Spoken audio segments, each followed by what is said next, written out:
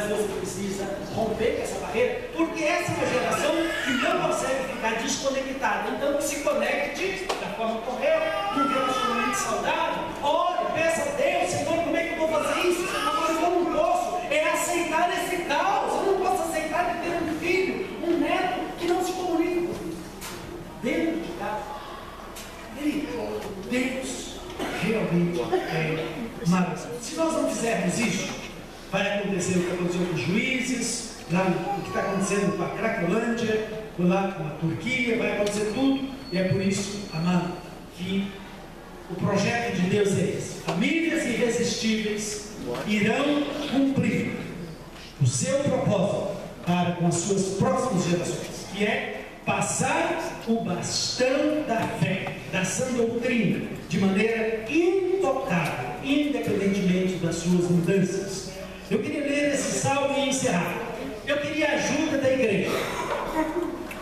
Eu queria uma família, para a gente ilustrar. Por favor, me ajude. Eu sei que as crianças estão lá embaixo, o pastor vai realizar batismo, nós precisamos encerrar. Mas, por favor, eu preciso de uma família que esteja aqui.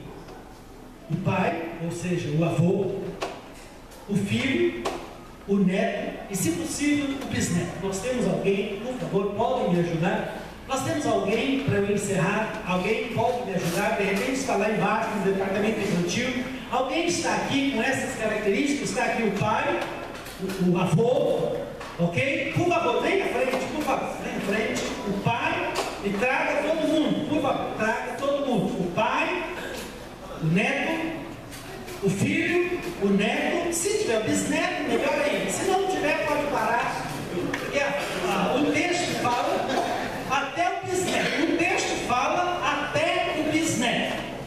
Aqui o que nós temos aqui? Nós temos o pai, o filho,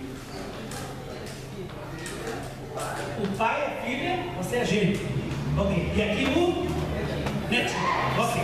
Ok. Porque o nosso texto é um texto maravilhoso. Ele diz assim, né, que é, para que essa geração, né, o Salmo 78, de maneira que é, é, ensinasse os seus filhos, e os filhos ensinassem também os filhos que nasceriam, e eles, por sua vez, contassem aos seus próprios filhos. Então, ok.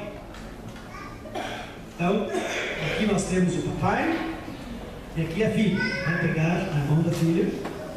Então, ele passou o bastão da fé para a filha. A mãe já está aqui com ele no copo. Tá bem? Os filhos passaram o bastão para a netinha. O netinho, desculpa. Né? O ideal seria se nós tivéssemos já um filho na adolescência, que tivesse ah, firme, sim, é, é ainda é uma criança, mas nós vamos é, aceitar aqui como ilustração, ok? Pois não, irmã, me ajude. Então vem, vem aqui, por favor, fique aqui, porque eu não quero atrasar você.